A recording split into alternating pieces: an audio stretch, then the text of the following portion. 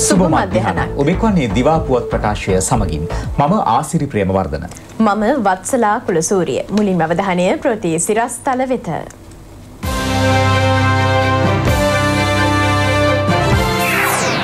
මහනුවර අවසන් ප්‍රන්දෝලි පෙරහැර අදරාත්‍රියයේ. නව විදේශ ප්‍රතිපත්තියක් හරහා ශක්තිමත් ආර්ථිකයක් අගමැති පවසයි. ලබන වසරේ අයවැය වෙනුවට අතුරු සම්මත ගිනුමකට කැබිනට් අනුමැතිය. වැසි සහ සුළං අඩුවේ. ලොවපුරා සරම්ප රෝගීන්ගේ සංඛ්‍යාව ඉහළට.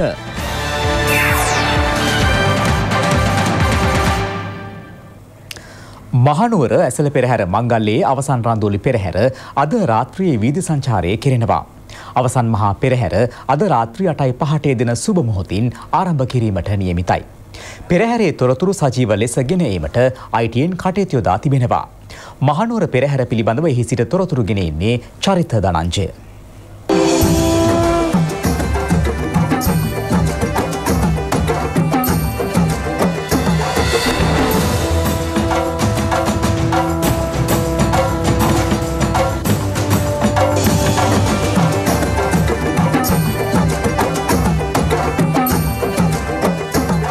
මෝහය අන්ධකාරය දුරලමින් අඳුරින් ආලෝකය කරා අපට මඟ පෙන්වූ බුදු පියාණන් වහන්සේට කරන්නා වූ පූජෝපහාරයක් විදිහටයි මේ ඇසල පෙරහැර මංගල්‍යය පැවැත්වෙන්නේ.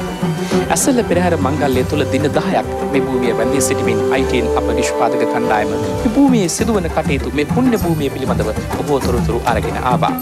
අද රන්දෝලි අවසන් මහා පෙරහැරයි විදි සංචාරය කරන්නට නියමිතව තිබෙන්නේ. ශ්‍රී දළදා මාලිගේ මාධ්‍ය ඒකකයේ මාධ්‍ය කණ්ඩායම සමග ඒකාබද්ධ වෙමින් ITN මෙහි සජීවී අවස්ථාවන් ඔබ වෙත ගෙනෙන්නට සූදානමින් ඉන්නවා. ඒ සජීව විකාශය සම්බන්ධයෙන් අපි සූදානම් කතා කරන්නට අපි සමගින් මේ මොහොතේ රැඳී සිටිනවා ශ්‍රී දළදා මාලිගේ මාධ්‍ය විශේෂ ව්‍යාපෘති සහ සංවර්ධන කාර්යංශයේ අධ්‍යක්ෂ විශාන්ත හිසල්ල මහත්මයා. හිසල් මහත්මයා අපිට කියන්න කොයි ආකාරයෙන්ද මේ වෙනකොට මේ ක්‍රියාදාමය නැත්නම් මේ පුණ්‍ය කටයුත්ත ක්‍රියාත්මක වෙන්නේ? ඇත්තටම 2012 අවුරුද්දට පෙර සියලු මාධ්‍ය ආයතන මේ භූමියට පැමිණිලා තමයි අවසන් පෙරහැර ඒ ඒ නාලිකා වෙන වෙනම සජීව විකාශයක් විදිහට ක්‍රියාත්මක කළේ.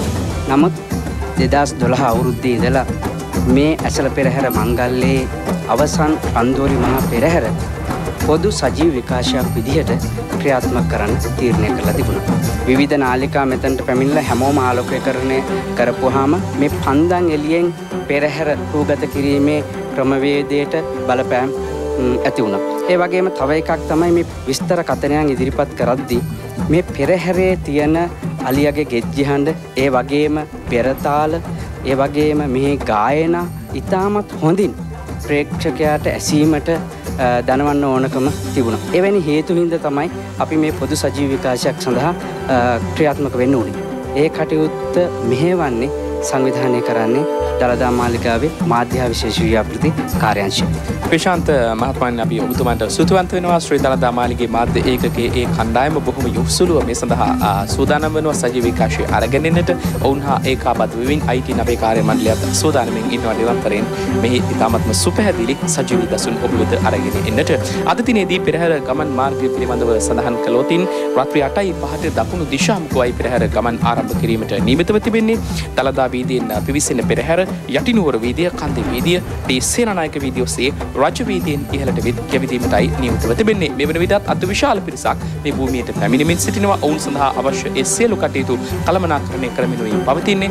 අපි සූදානම් වෙනවා ITN සිරි දළදා වන්දනා ඔස්සේ තවදුරටත් මේ තොරතුරු කියන්නට ශ්‍රී ලංකයේ ජන බලය හසුරුවන ටෙලිවිෂන් ආවරණාධිපති ITN රාත්‍රියේ මේ සජීවී අත්දැකීම ඔබ වෙත ලබා දෙනටත් සූදානම් වග බොහෝ සතුටින් දැනුම් දෙනවා. අපි ආරාධනය කරනවා ඔබ සැමට ITN සමග රැඳී සිටින ලෙසට.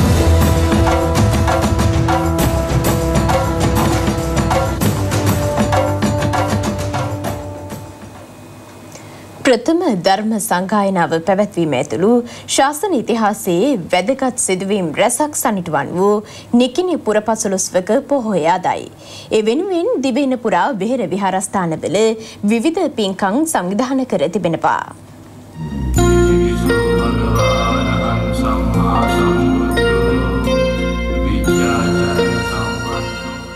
සම්බුද්ධ පරිනිර්වාණයෙන් පසු බුදුදහම සම්බන්ධයෙන් එල්ල වූ විනය විරෝධී ආකල්ප නැති කරමින් ශාසන චිරස්ථිතිය සඳහා ප්‍රථම ධර්ම සංගායනාව අදවැනි නිකිනිපුර පසළොස්වක පොහෝ දිනක පැවැත්වුණා. විනය කර්ම සිදුකර වස් එළඹීමට නොහැකි වූ භික්ෂූන්ට පසුවස් එළඹීම සඳහා බුදුන් අනුදැන වදාලේද අදවැනිම වූ නිකිනිපුර පසළොස්වක පොහෝ දිනක වීම විශේෂත්වයක්. ප්‍රථම ධර්ම සංගායනාවට පෙර ධර්ම භාණ්ඩාකාරික වන ආනන්ද තෙරුන් වහන්සේ රහත් භාවයට පත් වූයේද අදවැනි නිකිනිපුර පසළොස්වක පොහොය දිනකයි. බුදුරජාණන් වහන්සේ බුද්ධත්වයේ ලබා පළමුව උරුවෙල් දනව්වේ සේනානිගමට වැඩම කරවීමද අදවැනි නිකිනිපුන් පොහෝ දිනක සිදු වූ බව ශාසන ඉතිහාසයේ සඳහන්. එමෙන්ම උන් වහන්සේගේ ලලාට ධාතුව තැන්පත් කර සේරුවාවිල මංගල චෛත්‍යයේ ඉදිකිරීම් ආරම්භ කිරීමද මෙම උතුම් පොහෝ දිනයේ සිදු වූ බව වංශ කතාවල දැක්වෙනවා. නිකිනිපුර පසළොස්වක පොහොය නිමිත්තෙන් දිවයිනේ සෑම වෙහෙර විහාරස්ථානයකදීම ආමිස හා ප්‍රතිපත්ති පූජාවන්ට මුල් තැන දෙමින් විවිධ ආගමික වැඩසටහන් සංවිධාන කර තිබෙනවා. ඒ සඳහා සැදැහැවතුන් විශාල වශයෙන් එක්ව සිටින බවයි දැකගත හැක්කේ.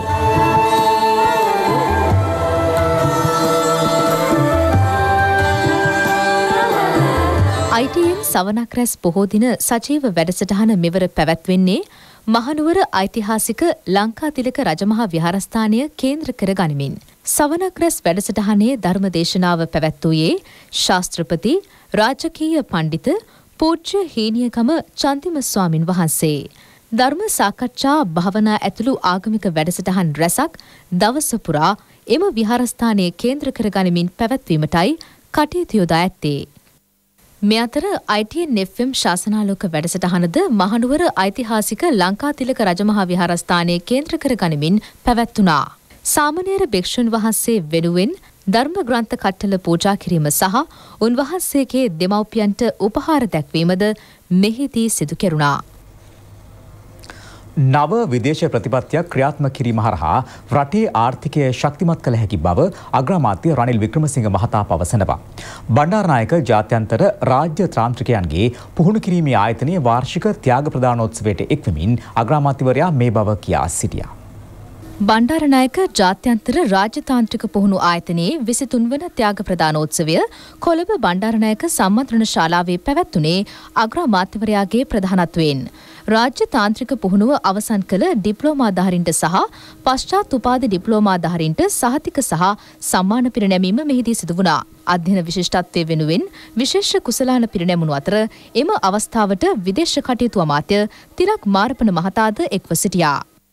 Our new foreign policy led us to enhance the importance of Indian Ocean globally. When we took over the government, we have confronted with major issues which needed resolution. Firstly, on the issue of human rights, where uh, we had made commitments which had not been fulfilled, and we were actually on the verge of facing, we already faced censure, but even more in, the, in Geneva.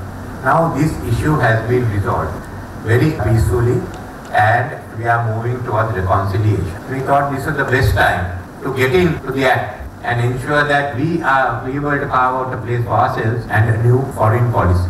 So this is how we start. At that time in 2015 was the beginning of the different regional and global and global powers looking at the Indian Ocean. How do we ensure that we, we could certainly leverage ourselves, make ourselves the hub of the Indian Ocean, also to ensure that we had a role to play.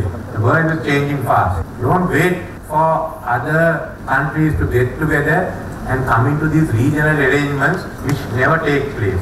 We had to move by ourselves within the Indian Ocean region. There's much more to be done in changing regulations, in changing rules, in changing laws. But with this, we have made Sri Lanka viable entity. It's up for us to ensure that Sri Lanka can get ahead. අමාත්‍ය තිලක් මාරපන මහතාද මෙහිදී අදහස් දැක්වුවා. Today, with the internet and cyber facilities, there are complex issues that need instant answers. Knowledge is all important to tackle these issues. The more learned you are, are the better performance that you will make. The diplomatic skills required are also valuable to enable you to interact with others in an unobtrusive manner. ලබන වසරේ පළමු මාස හතරක කාලය සඳහා අවශ්‍ය වියදම් ඇතුළත් අතුරු සම්මත ගිනුමක් සකස් කර පාර්ලිමේන්තු අනුමැතියට ඉදිරිපත් කිරීමට කැබිනට් මණ්ඩලය එකගත්වය පළ කළා. ඒ ඇතුළු තවත් යෝජනා කිහිපයකට අමාත්‍ය මණ්ඩල අනුමැතිය හිමිව තිබෙනවා. මෙම වසරේ අවසාන කාලයේදී ජනාධිපතිවරණයක් පැවැත්වීමට යෙදී ඇති බැවින් ඉන් පසු පත්වන අමාත්‍ය මණ්ඩලයේ සංයුතියට අනුකූලව හා රජයේ නව ප්‍රතිපත්ති මූලික කර ගනිමින් ලබන වසර සඳහා අයවැය සකස් කිරීමට හැකිවන පරිදි මෙම කටයුතු සිදු කෙරෙනවා. දෙදහස් විස්ස වර්ෂය සඳහා වන අයවැය කටයුතු ආරම්භ කිරීම පසුවට කල් තබා ලබන වසරේ මුල් මාස හතරක කාලය සඳහා රජය පවත්වාගෙන යාමට අවශ්‍ය වියදම් ඇතුළත් අතුරු සම්බත ගිණුමක් සකස් කිරීමට අමාත්‍ය මණ්ඩලය අනුමැතිය ලබා දුන්නා. පවත්නා වැසි සහ සුළං තත්ත්වය ක්‍රමයෙන් අඩුවමින් පවතින බව කාලගුණ විද්‍යා දෙපාර්තමේන්තුව පවසනවා. කෙසේ වෙතත් කඳුකර ප්‍රදේශ සඳහා නිකුත් කර ඇති නායාම් අනතුරු ඇඟවීමේ නිවේදනය තව දුරටත් වලංගු වනවා.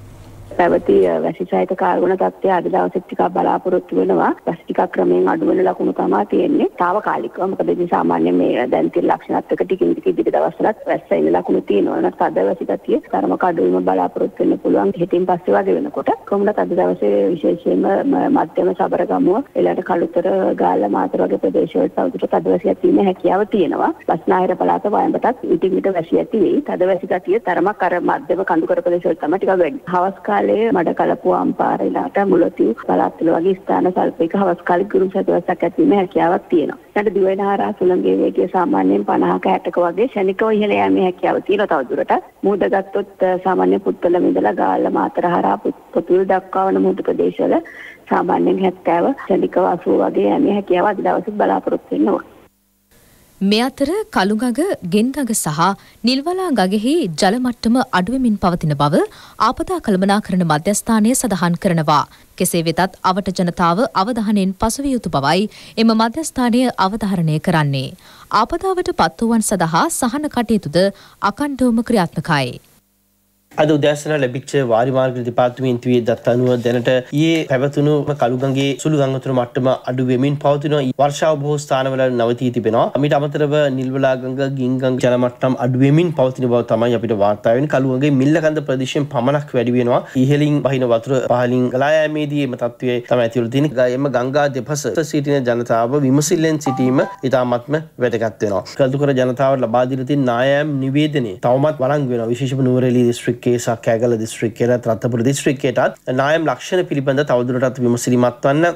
අනිකුත් ප්‍රදේශවල දැනට ආපදා තත්ත්වය අපි සංසන්ධනය කළ බැලුවම් මහනුවර දිස්ත්‍රික්කයේ ජලගැලීම් තත්ත්වයක් හේතුවෙන් පස්භාග කොරලේ පුද්ගලයන් 163 දෙනෙක් తాවකාලිකව ඉවත් කරා. ඔවුන් සඳහා සහන වැඩපිළිවෙළ ක්‍රියාත්මකයි. දිස්ත්‍රික් ආපදා කළමනාකරන ඒකකයන් ඊයේ රාත්‍රියේ අඛණ්ඩව මේ තත්ත්වය වෙනුවෙන් ත්‍රිවිධ හමුදා පොලිසිය සමග අඛණ්ඩවම මුහුණ දුන්නා. ඊට අමතරව අනිකුත් ප්‍රදේශවල ආපදාමය තත්ත්වයක් වාර්තා වෙන්නේ නැහැ. සියලුම දිස්ත්‍රික් ආපදා කළමනාකරන ඒකකයන් ත්‍රිවිධ හමුදා පොලිසිය ඇතුළු සියලුම දෙනා ස්ථානගත කළ තිනේ අවශ්‍ය පරිදි ඉදිරියේදී ඇති විය හැකි ඕනෑම තත්ත්වයක් වෙනුවෙන් මුහුණ දීම සඳහා. දැන් පුවත් කිහිපයක් ලොහොඩින්. ආනමඩුව වඩත්ත ශ්‍රී බෝධිනන්දාරාම සරණංකර පිරිවෙනේ නව භික්ෂු නිවාසිකාගාරයේ ඉදිකිරීම හා විහාර මාර්ගය සංවර්ධනය කිරීමේ කටයුතු ආරම්භ කෙරුණා. අස්ගිරි පාර්ශවයේ අනුනායක පූජ්‍ය ආනමඩුවේ ධම්මදස්සී ස්වාමින් වහන්සේ ප්‍රමුඛ මහා සංඝරත්නය සහ වයඹ පළාත් ආණ්ඩුකාර පේශල ජයරත්න මහතාගේ ප්‍රධානත්වයෙනුයි මෙම කටයුතු ආරම්භ කෙරුණේ. මෙම සංවර්ධන ව්‍යාපෘති සඳහා වැය කෙරෙන මුදල රුපියල් ලක්ෂ දෙසීයක්. රාජගිරිය කුරුදුවත්ත සිරි සදහම් විහාරස්ථානයේ ධාතු මන්දිරය අටවිසි බුද්ධ මන්දිරය විවෘත කිරීම මෙන්ම චෛත්‍යයේ කොත නිරාවරණය කිරීම සිදු කෙරුණේ අස්ගිරි පාර්ශවයේ අනුනායක පූජ්‍ය වෙඬරුවේ උපාලි ස්වාමින් වහන්සේගේ ප්‍රධානත්වයෙන්. විහාරාධිපති පූජ්‍ය පන්නල පඤ්ඤාලෝක ස්වාමින් වහන්සේගේ අනුශාසනා පරිදි මෙම පුණ්‍යෝත්සවය සංවිධානය කර තිබුණා. මහා සංඝරත්නයේද සදහැවතුන් විශාල පිරිසක්ද ඊට එක්ව සිටියා. සමස්ත රටවැසියන්ට සෙත්පතා ලක්ෂවාරයක් රතන සූත්‍රයේ සජ්ජායනා කිරීම පොතුහැර මහපිටියවත්ත උත්පලවන්නා මෙහෙණි ආරාමයේදී අද පස්වරුවේ ආරම්භ කෙරෙනවා. වැවයි දාගබැයි ගමයි පන්සලයි එළිය කළ මිනි පහන ඔබයි වැඩසටහන යටතේ මෙම කටයුතු සිදු කෙරෙන්නේ. කුඩා කාලයේ සිටම ක්‍රීඩාවට නැඹුරු කරමින් මානසික සෞඛ්‍ය හා පෞරුෂත්ව වර්ධනය කිරීම සඳහා තිසමහාරාම වීරවිල සමගි ආදර්ශ මුල් අමාවිය සංවර්ධනය කිරීමේ මධ්‍යස්ථානය නිවාසාන්තර ක්‍රීඩා උත්සවයක් සංවිධානය කර තිබුණා. සන් සහ මූන් ලෙස නම් කර තිබූ නිවාස දෙකක් යටතේ තරගසව් කිහිපයක් පැවැත්වුණා. දේශීය ශාක උපයෝගී කරගනිමින් ඉතා අලංකාරවත් ලෙස මෙම නිවාස සකස් කර තිබුණා. ඒ සමගින් දිවා පුවත් අවසන් වනවා. ඔබට සුබ දවසක්. www.itnnews.lk